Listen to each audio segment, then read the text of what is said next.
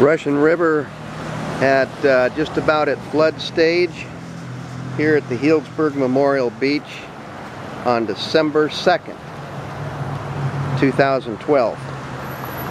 As you can see, there's some interesting stuff going downstream.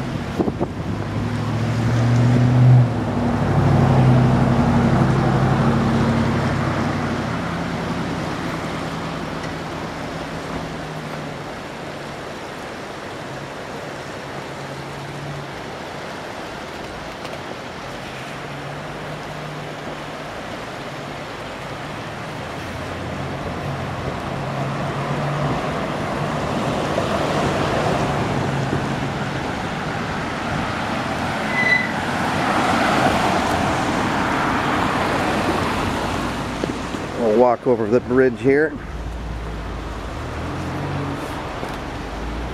Boy, that's bright.